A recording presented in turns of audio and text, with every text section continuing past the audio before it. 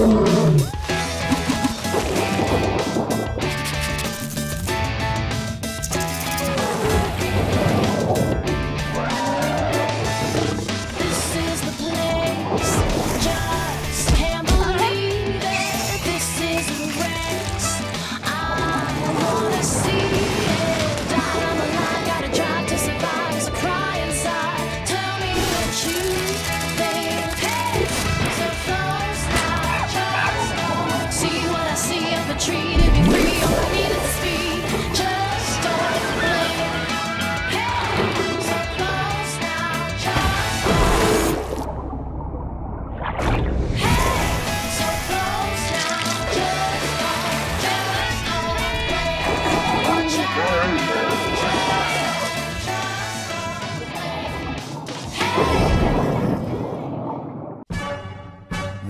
Are living legends of the American West.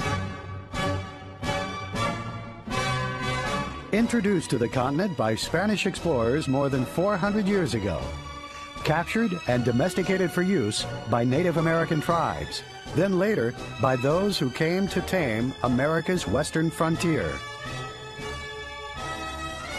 Over time, many found their way to freedom on the vast open rangelands of the West.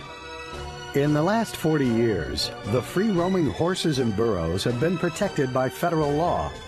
Protected so diligently, in fact, that a major threat they face is their own overpopulation.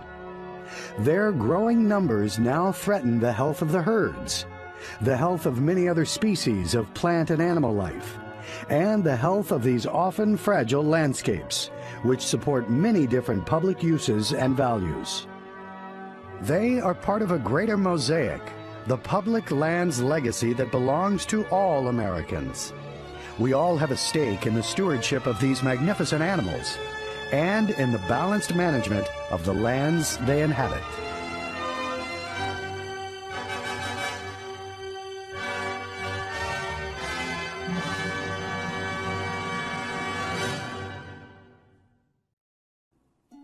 The story of the wild horses and burros of the West began centuries ago. They were roaming the western rangelands even before the first pilgrims arrived on the continent, brought here by Spanish explorers more than 400 years ago.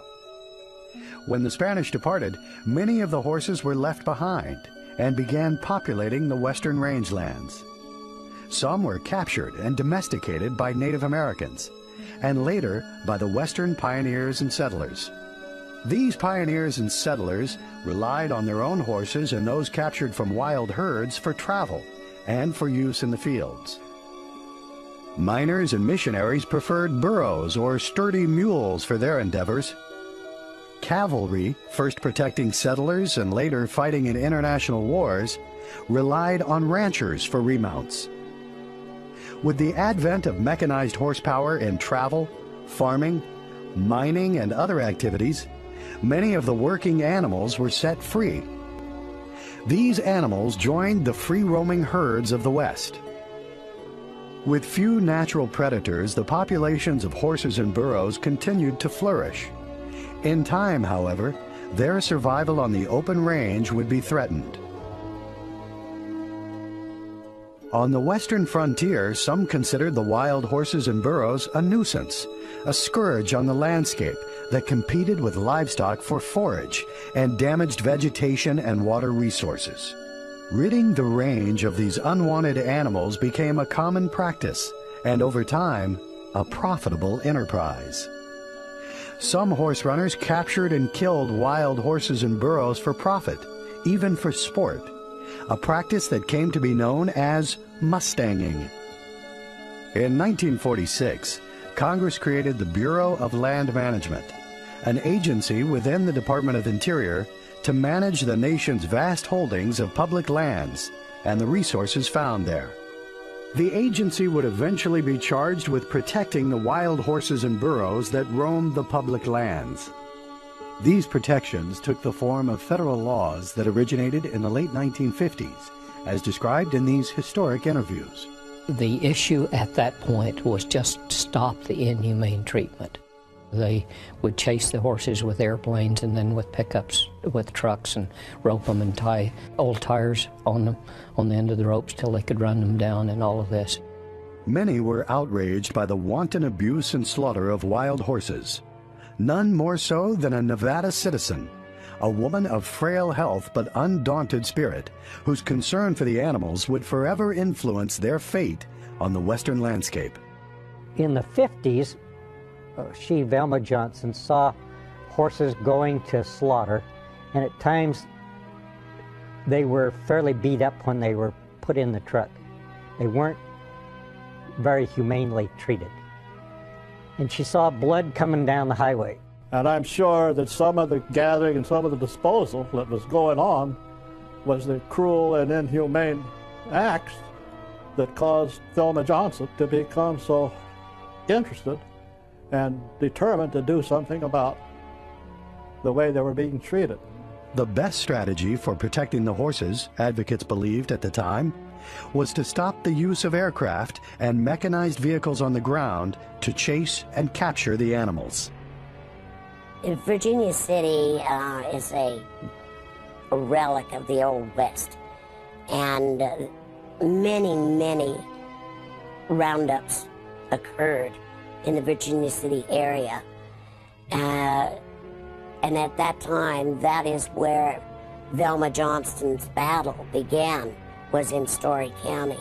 She tracked roundups, she tracked the trucking of animals.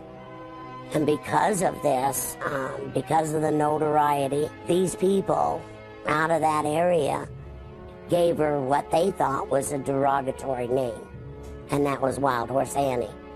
And uh, actually, she took it as her banner, and um, she was never ashamed of it. Velma Johnston's legacy came in the form of sweeping legislation that dramatically altered national policy regarding the treatment and the management of the wild horse and burro populations.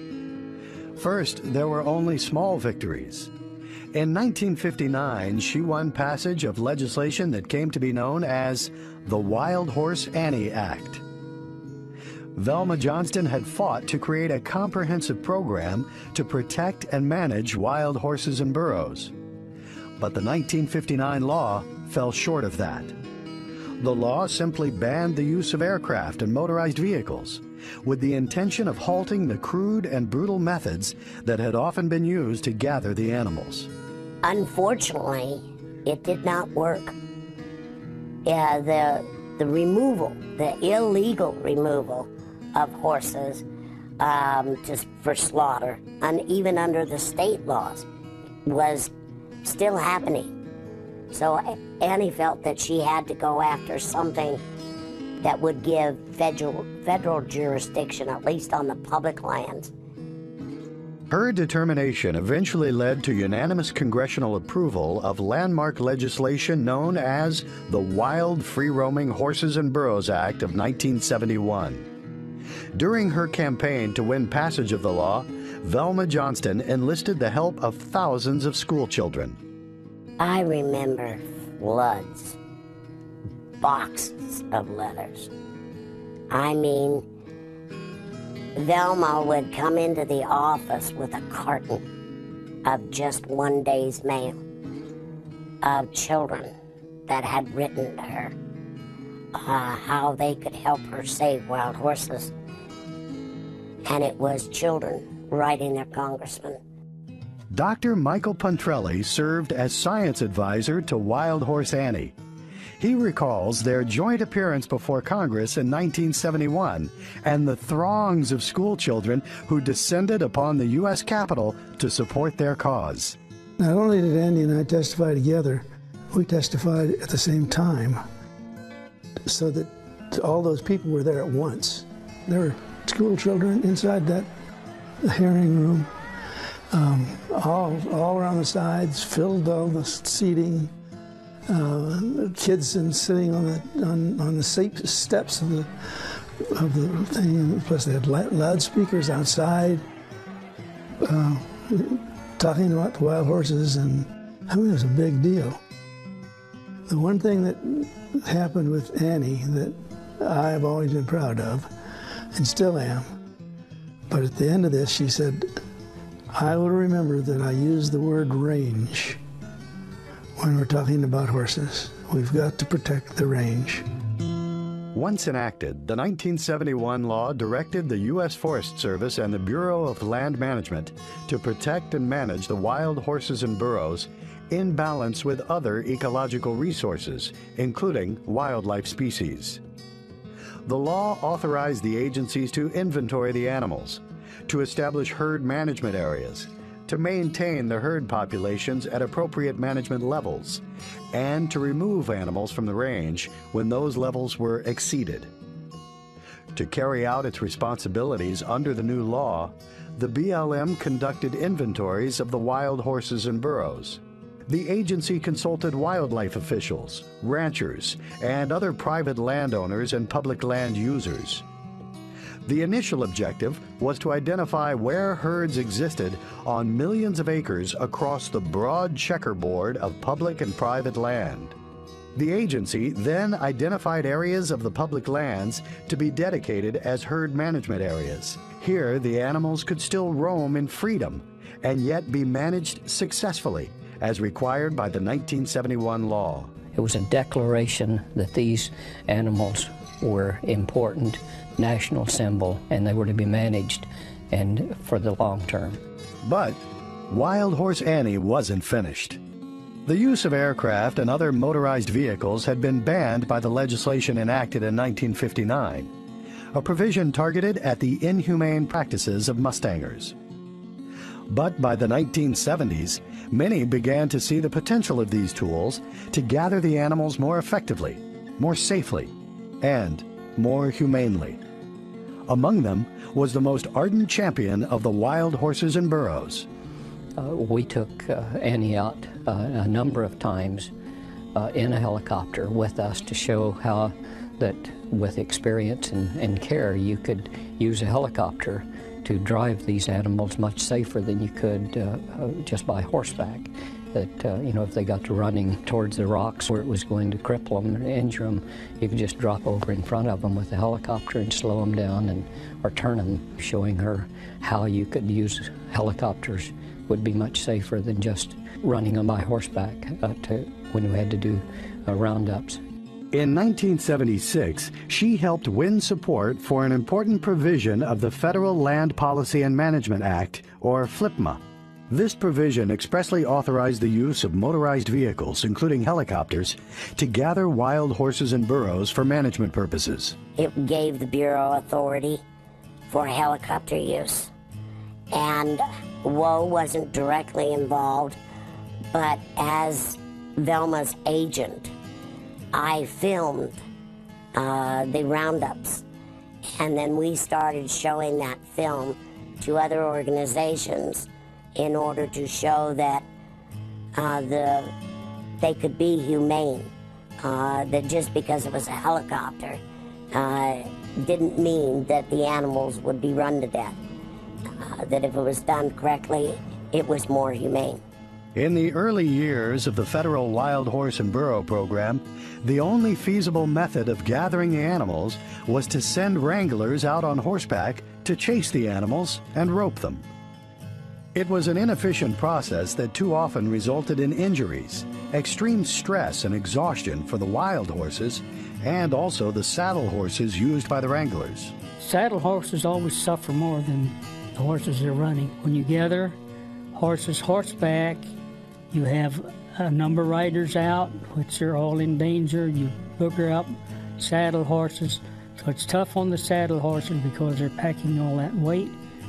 And you don't have the total control as you have when you gather with a helicopter. The helicopter can coast along and let horses go slow. It's more efficient. It's safer. You don't have as many people involved in danger. And it's, uh, it's just more efficient way to do the job.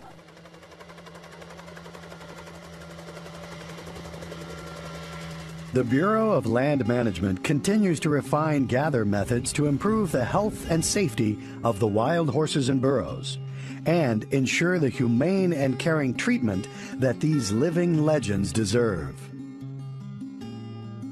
However, no matter how careful the BLM is, there is a small mortality rate associated with gathering wild horses.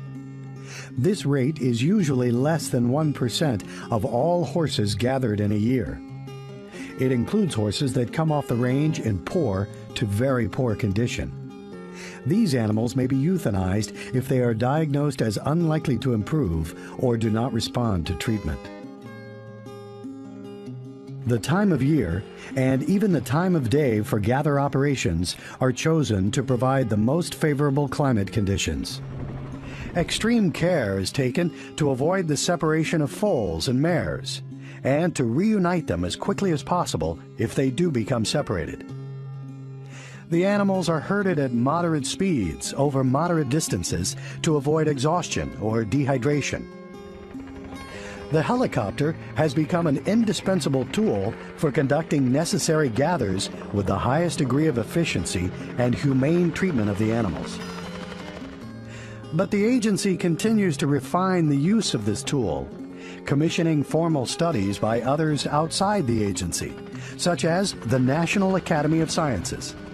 I do thank the board for allowing us uh, all to come here and speak to you. Striving for full transparency and involvement of the public, the agency conducts annual meetings to invite the public to air concerns and suggestions for improving the gathered policy and practices. And I also feel that until we have an accurate count, we need the roundup stopped. And I understand that if the count is over, we need to manage them. I have no issue with that. A motion must be set aside. BLM needs to show some leadership. And agendas cannot be allowed to set the tone or the direction of the discussion. But it's never too late to do the right thing, in our opinion. And we think now is the time. We embrace true reform within the Bureau of Land Management. A new, transparent, and accountable wild horse and burro program that takes its lead from the sincere wishes of the vast majority of American citizens and taxpayers. Next, we travel to some of the rangelands where wild horses and burros roam to learn more about how and why some of these animals are gathered from the range.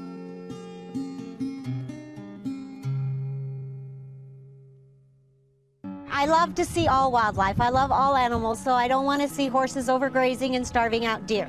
I don't want to see the loss of rabbits and elk. I want to see that all. I want to see it managed nicely.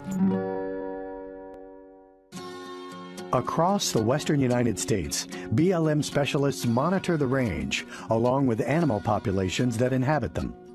Their goal is healthy horses and burros on healthy rangelands. Let's take a closer look at some of these areas.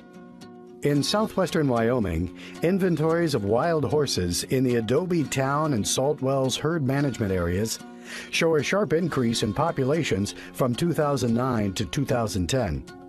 The overpopulation poses a significant threat to wildlife habitat and forage.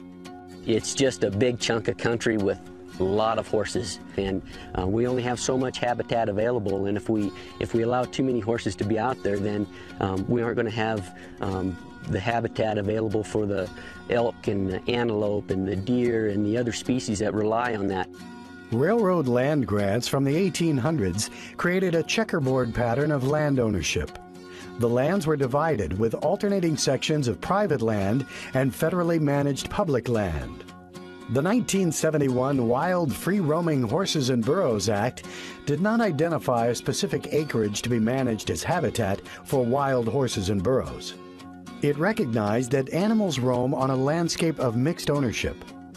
Over the years, management units have been identified, taking into consideration such factors as availability of water, the presence of habitat for summer and winter range, and conflicts with other resource values or land ownership. To protect the property rights of private landowners, the animals must be kept within herd management areas on public lands. The agency works closely with private landowners to accomplish this. We believe that the livestock resource is important. We believe that the wildlife resource is important. We also have a great deal of oil and gas activity, trona mines, coal mines, power plants. That said, if we have one area that gets out of control, it affects all of the others. In the summer of 2009, the Rawlins Field Office, in cooperation with the Rock Springs Field Office, flew two population surveys. Since then, our population has grown by about 25%. Because we're so far over our AML, or appropriate management level, we need to do a gather to maintain the range conditions in the herd management areas. The horses are in very good shape. Uh, the range is still in, in really good condition. Um, and if we and if we uh, manage these horses appropriately, we'll maintain that. We'll keep the range in, in great shape. We'll be providing habitat for the other uh, wildlife species that are out there. The largest populations of wild horses and burros are found on some of the least hospitable landscapes of the West the dry and barren rangelands of Nevada. The Montezuma Peak and the Paymaster herd management areas are located in the northern part of the Mojave Desert. These areas get no more than three to four inches of precipitation annually. As you can see across the landscape, we've got mostly shrub species here, and there's very few grasses that are produced in the, in the understory. Um, in fact, there's a, an example right here.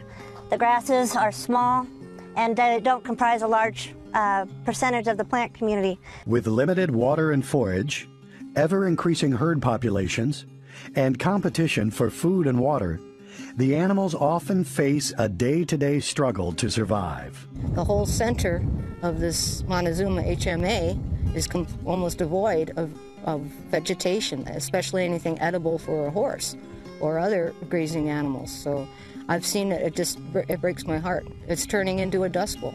I pass right through where all the wild horses are. And over the years, I've seen many of them that are they're they're starving to death.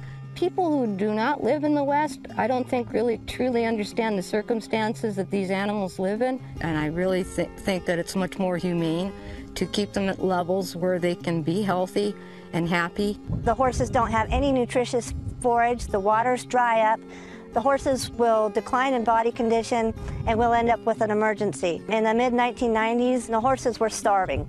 They were extremely thin, skin and bones, and they were extremely uh, sick. We don't want our horses out here to suffer those type of consequences because these areas just aren't suited to them. Overpopulation in the horse herds is an it's an extreme problem in some areas. If you've had to watch those herds and the little ones starve or die of dehydration or walk for miles and miles trying to find graze. It's not a pleasant experience to go through.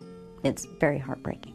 So, gathering is one of the ways that they can handle that. It's an absolute necessity.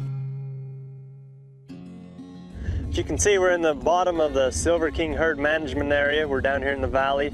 We're in a winterfat site, which is this plant right here. It's uh, very good for protein, especially in the winter once it gets a good freeze on it. Uh, livestock really like it, wild horses like it. Uh, the problem is we're getting a lot of pressure. The horses fill this valley from one end to the other down here in the bottom. You can see lots of horses down here all winter long. They don't move on. They get enough storm that kind of fills up a few catch ponds and they really just hit it. What that results in is degradation of our rangeland. This is what we call Thorley Well. And as you can see, you know, the horses have actually dug this pond out and it's got pretty good flow to it. It tends to stay about the same year round. If you come out this way just a little bit, you'll notice the traffic and the heavy use getting into the spring. And that, that's what's really creating our problem. All the trails which have degraded the rangelands, there's a lot of competition. When the competition for the water increases, it creates rangelands like this. We want to see wild horses out here, but we want to see healthy wild horses. We don't want to see them deteriorating. We don't want to see our rangelands deteriorating. It takes a long time to replace this vegetation. Once it gets down to just dirt, it makes it so it takes years and years of good water and strong vegetation to bring that back.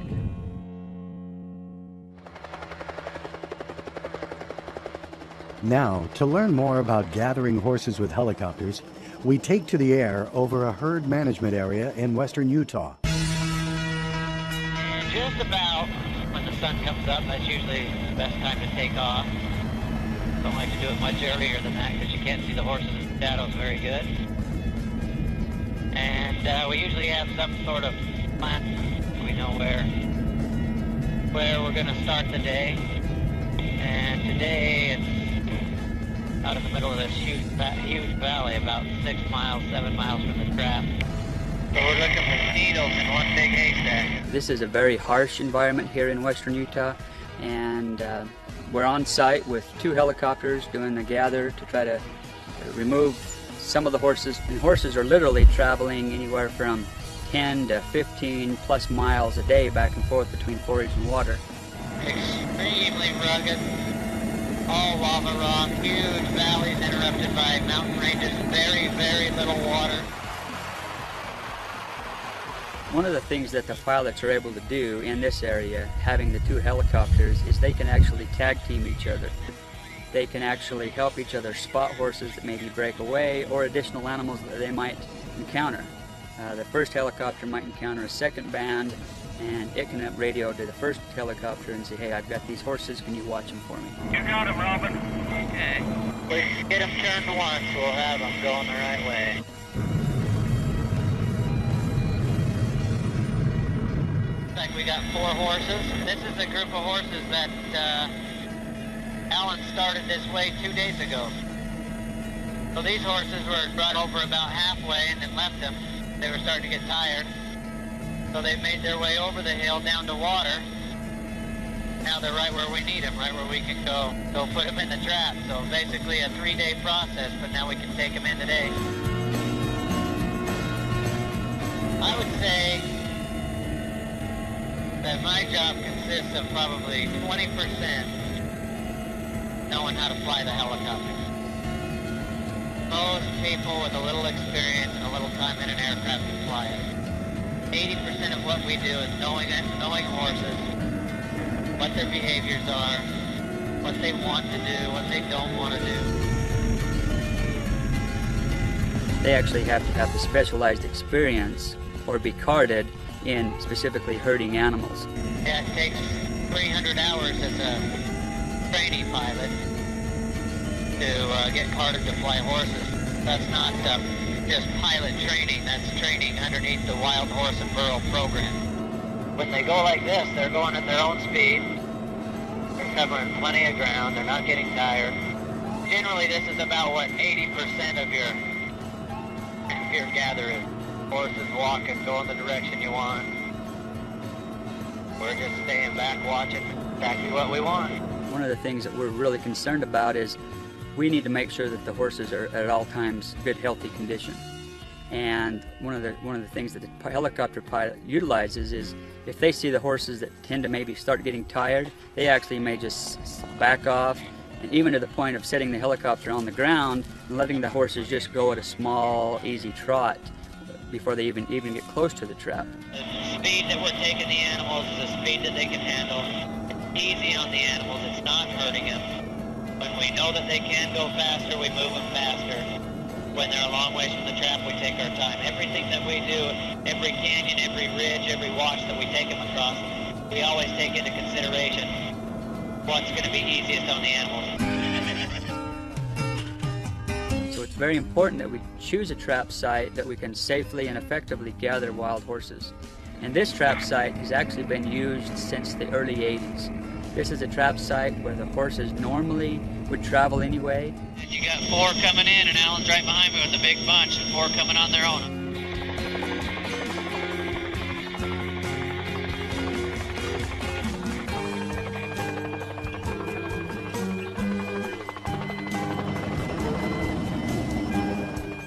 The quality of the pilots is a key on the success for this project because the experience that they have really makes or breaks whether our gather operations are going to be successful. I'm right behind you.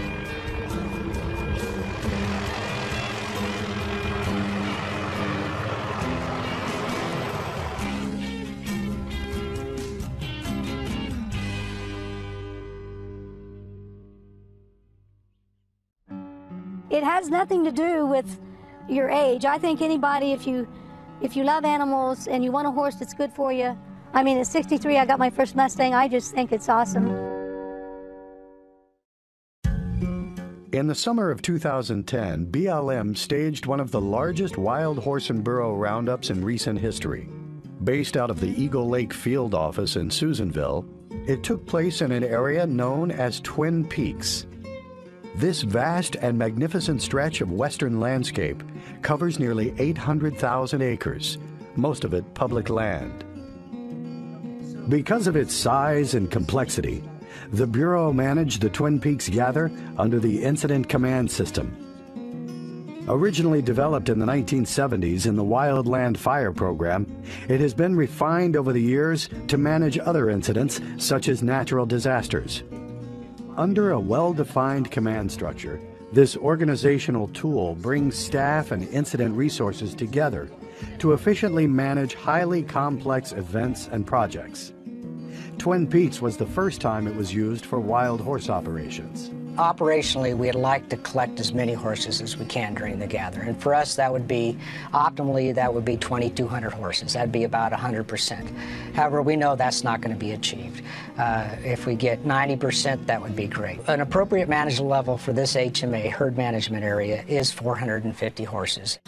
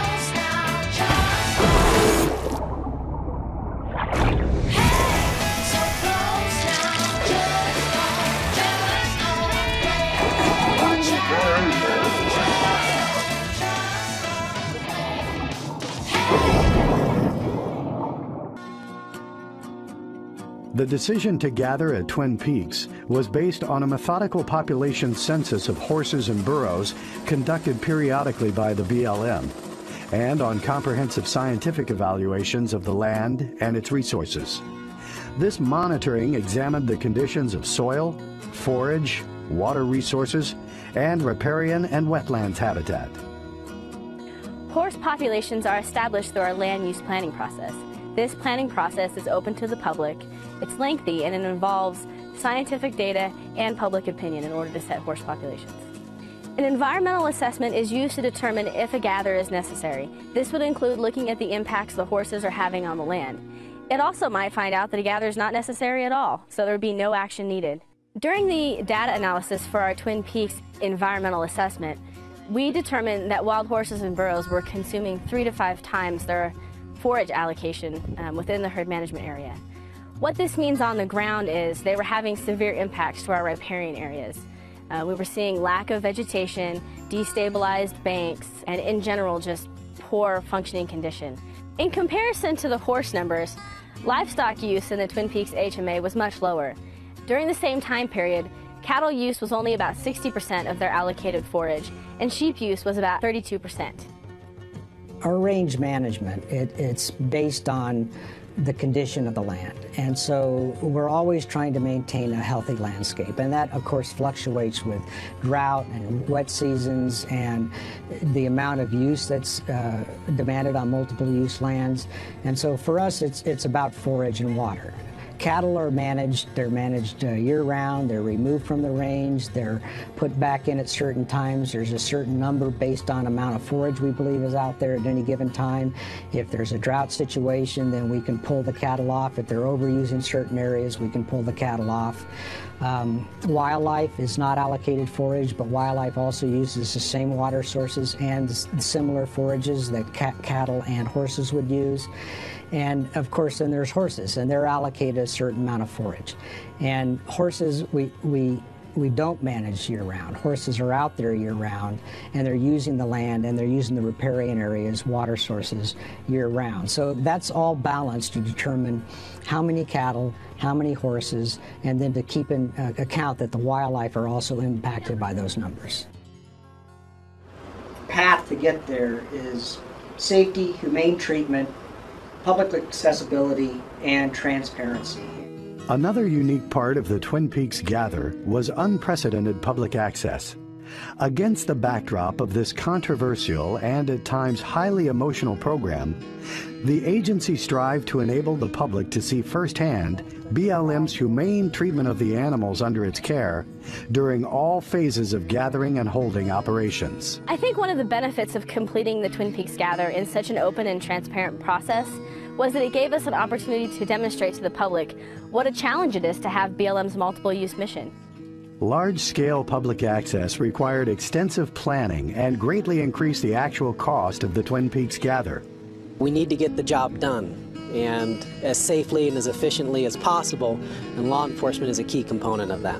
Observers can, with, with very little effort on their part, um, disrupt or interfere with a significant amount of work that's gone into uh, getting the horses to the trap site. So it's a delicate balance between allowing the observers to observe, but also providing for that ultimate safety of the horses. There were many challenges involved in the logistics of safely allowing members of the public to watch the inherently unpredictable process of capturing large numbers of wild horses and burros in such a remote and desolate location. It really comes down to selecting what's best for the safety of the horses and taking into account viewing of the public now in a safe distance and just operationally how they can get uh, the most horses into the trap site safely.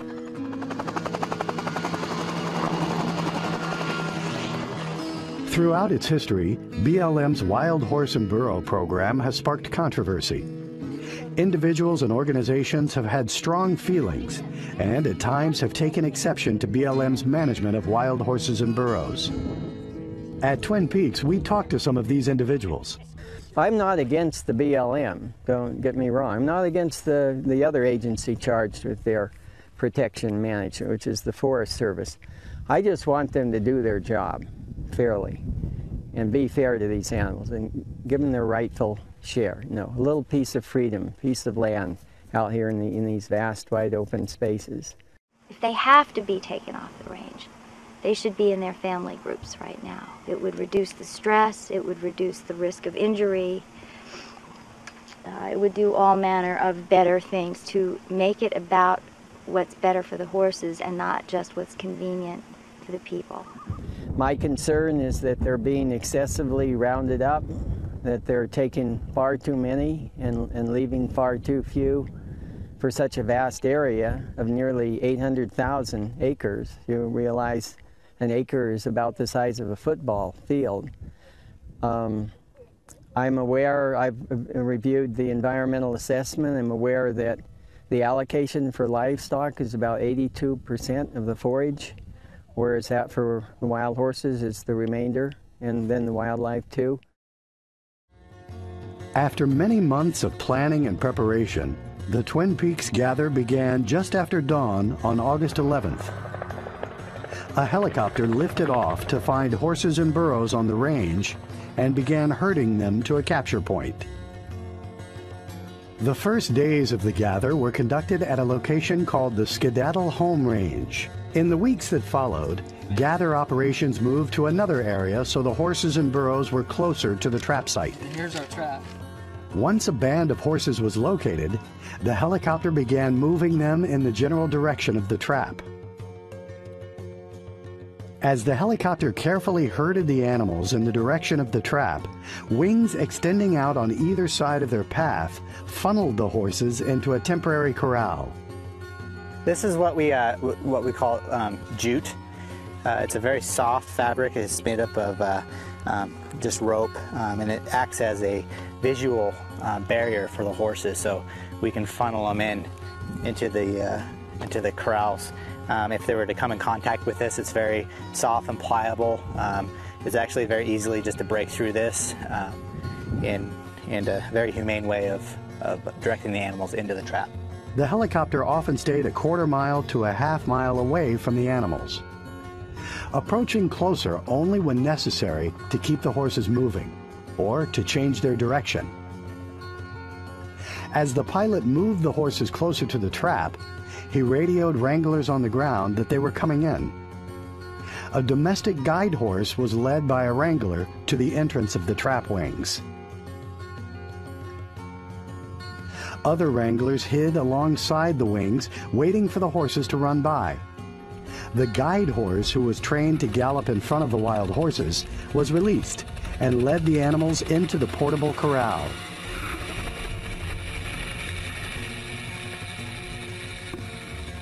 Once the horses were rested and settled, they were transported a short distance to a holding corral where they were examined by a veterinarian. Injuries that may have occurred during the gather were immediately treated, as were any pre-existing injuries the horses may have sustained before the gather.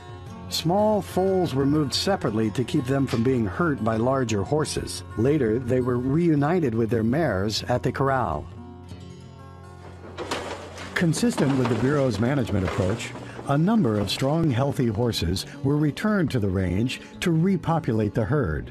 But before they were released back into the wild, they were freeze marked and records were made of their age and color. The mares were vaccinated with porcine zona pellucida, or PZP, a drug to control fertility. The rate at which wild horses reproduce has been an ongoing challenge for BLM since the 1970s. The Bureau works with organizations such as the Humane Society of the United States and invests in ongoing research to develop more effective methods of fertility control. The objectives of this research are to acquire a science-based fertility control program that can serve as the primary means of maintaining healthy horse populations in the wild and to dramatically reduce the need to remove animals from the range. BLM's ultimate goal is to balance the amount of excess horses removed from western rangelands every year with the number of horses annually adopted by members of the public. What we're doing now is actually releasing the last load of mares. We're releasing back out this way. This is the kind of the best place to lead them because this is all their home range out here. And we have them facing that way. That way we're not release, releasing towards people. Kind of keep everybody back. And see right now how the horses are all towards the back of the trailer. What the guys will do is kind of get them to go forward, get them off the gate, so you can open the gate and hopefully the horse won't, you know, fall through it. See, all going forward. Then they'll carefully open the gate. Obviously, don't want to get kicked. See, they don't want to use their flags too much. They're just see, just a little bit. They don't want to scare them. Let one find, let one get her head out the door. See, just like that. Then they'll all start going. Nice and easy. Can't beat it. The gather at Twin Peaks that began in August was concluded six weeks later. The operation was successful in reducing the populations of wild horses and burros in the area to the upper range of appropriate management levels.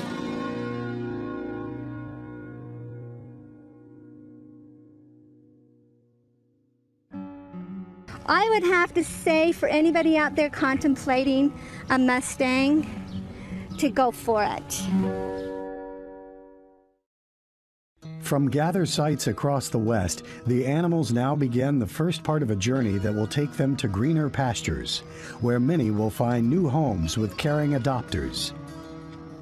Horses and burros gathered from the range will first be transported to one of BLM's many preparation facilities, where they will be examined, receive immunization against equine diseases, and be registered in a database. Once the horses are brought in from the range, they're unloaded off the trucks, and for the most part, they're already separated by the different sex classes. So then we just put them on feed and water um, and rest. All our facilities provide proper feed, water, and medical care. The feed that we put them on is a uh, low carbohydrate, low protein feed, similar to what they're used to on the range. Um, and then we slowly transition them into a more of a domestic, a domesticated feed. The horses are brought up from a large holding pen and they're conveyed through an alley system into the tub and, chute area.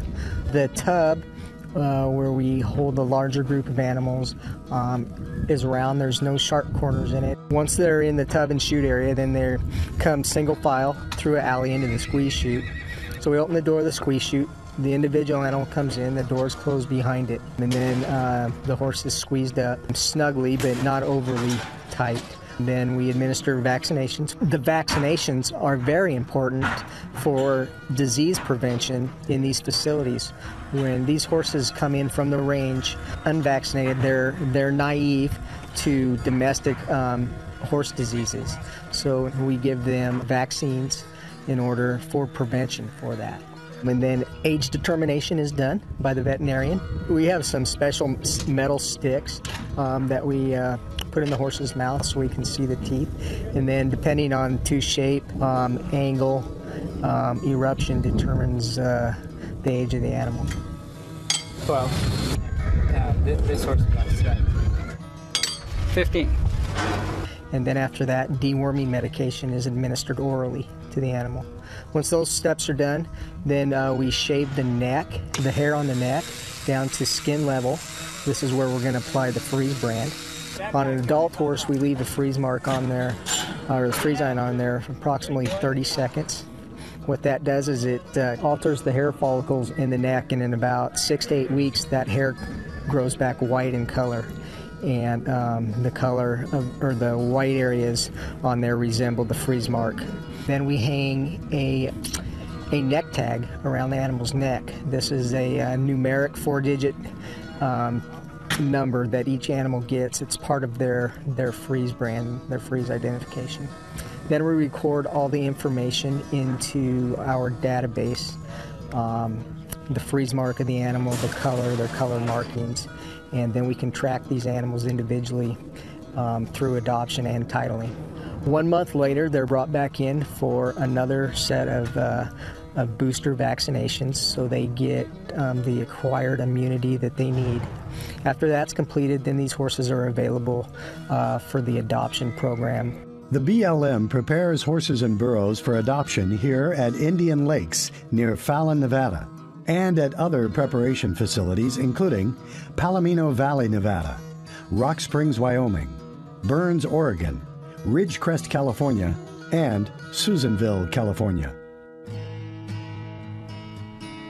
We're here at the Litchfield Corrals, just outside of Susanville, Northern California's Wild Horse and Burro Preparation Facility. We're going to show you around the facility today, and you can see some of the uh, wild horses and burros that we have inside and that will be available for adoption soon. You can see these are pretty big pens. Actually, most of these pens range in size from four to seven acres.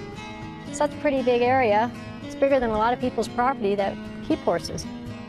These horses have plenty of room to run around, chase, play, get away from each other, and just be horses. We're standing here next to one of our burro pens. This pen has jack and gelding burros. People really like to adopt the burros. They're very cute, but they are also good for driving, packing, riding. People use them for guard animals to protect their sheep and goats from coyotes. So we hope that if you're interested in adopting a burro, you can come on out and get one. In addition to public adoptions held at some of the BLM preparation facilities, the agency also takes the adoption program on the road, transporting horses and burros to adoption events in communities throughout the country. I want to welcome you to the Bureau of Land Management's Wild Horse and Burro Adoption and to the Midland County Fairgrounds. Adoptions by internet have provided another means of introducing the public to America's living legends and finding good homes for the animals with caring and qualified adopters. We're bidding on, on Jenny 9269. We have an only bid for 125. While the BLM is eager to find homes for the animals, the agency's detailed application, screening, and inspection process ensures that the horses and burros are placed with those who are qualified to care for them. Among other requirements, adopters must demonstrate that they have adequate feed, water, and facilities to provide humane care for the animals. Since the passage of the Wild Free Roaming Horses and Burros Act in 1971, the BLM has placed more than 220,000 wild horses and burros into the care of private citizens. The BLM, along with the Nevada Commission for the Preservation of Wild Horses, contributed to the creation of the Mustang Heritage Foundation.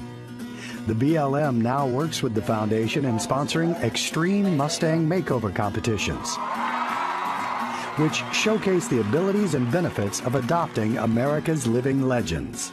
Horse trainers young and old from around the country train wild horses for approximately 90 days, getting them ready to ride. They then compete at many regional and national events. Most importantly, the Mustang Heritage Foundation helps BLM by promoting horse adoptions, providing saddle ready horses to Americans wanting to adopt, and raising awareness with the public of the need for good homes for these animals. Thank you very much, Ryan. Partnerships with correctional facilities allow inmates to saddle train Mustangs, benefiting the adoption program and the rehabilitation of inmates who work with the horses. Seeking to provide more trained wild horses that may be more appealing to adopters, the BLM is exploring other partnerships or contractual arrangements for the training of animals to be adopted. Some of the horses gathered from the range have little likelihood of being adopted because of advanced age or other characteristics. But these horses will also find new homes where they will be cared for humanely. We ensure that the excess horses either are taken to good homes that the public take care of or they're taken to long-term pastures where they can live out their lives. When it's determined that they are not, there's not a demand for that animal and it's going to actually go to one of our long-term holding pastures, then they are loaded on a straight deck truck. Those trucks then will go to a long-term holding facility and they will be offloaded at their corral and they'll be able to go into their pens where they're watered and fed for that night. From those pens, they have what they call traps, which are five to 10 acres. And those horses will be let out into the traps. And for anywhere from a week to two week period of time, they'll be doing a transition period. And this is very, very important. They learn that there's a truck, they learn the sound of the truck, and the most important thing of all is they learn that truck has feet, and they like that feet.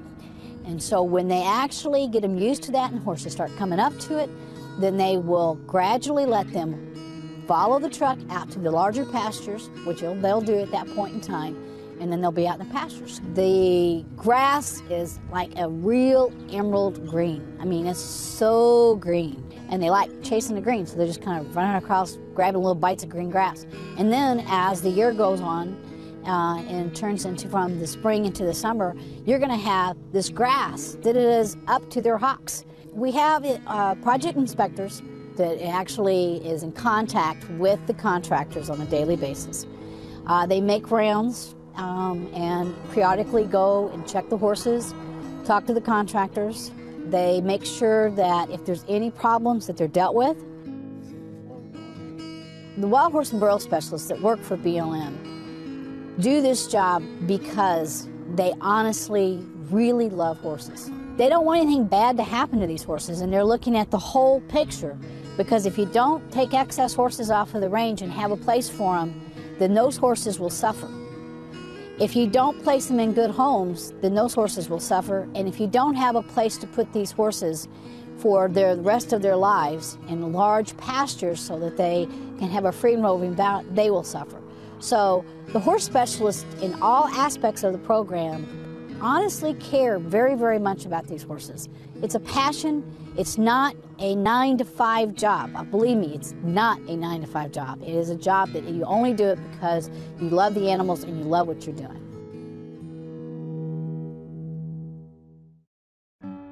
They love you. They, you know, that you are one of a kind for them, and you're not like just any other person for a Mustang. They, they see you as someone special.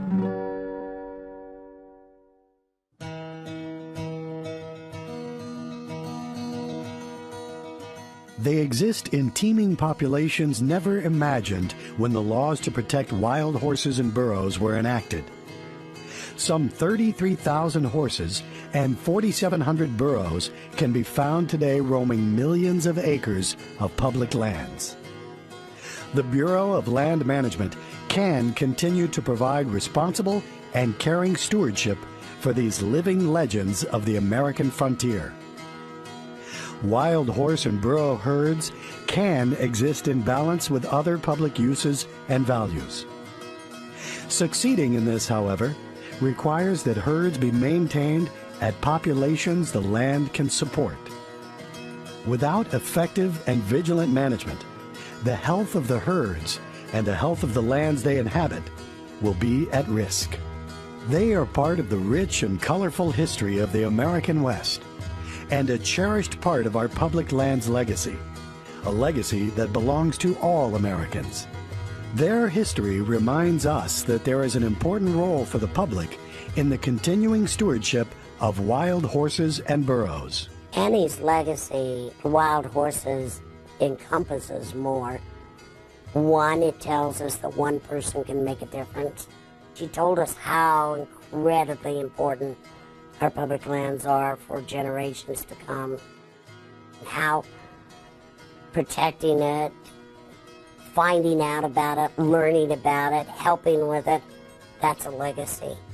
And maybe finally that my children's children would be able to go out and see wild horses running across public rangelands that are healthy.